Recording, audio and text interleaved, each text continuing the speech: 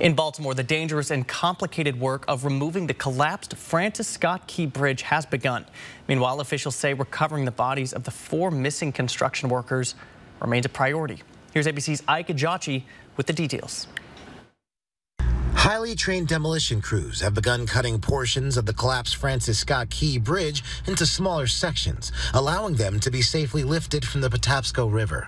A cargo ship crashing into the bridge in Baltimore Tuesday. A total of six construction workers are presumed to have died. We have released the first $60 million in federal funding to help Maryland get uh, the initial stage, which starts, of course, with the wreckage removal, demolition, but also the uh, acquisition, uh, the procurement, and and the preparations for the new bridge. The scale of the operation is huge. Salvage teams will use gas-powered cutters to separate sections of the steel bridge, while divers will conduct underwater assessments. We have to be smart We've got to be safe. We have to make sure we're protecting these first responders and these people who are working on it.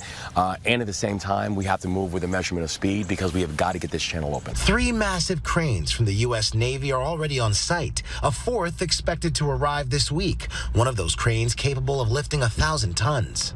It's not just that you have to remove the wreckage; it's that you have to do it in a way that doesn't cause portions of the bridge that are that are there across the water to shift. Out of the more than 4,000 shipping containers on that car cargo ship, the NTSB has determined 56 of them contain hazardous materials.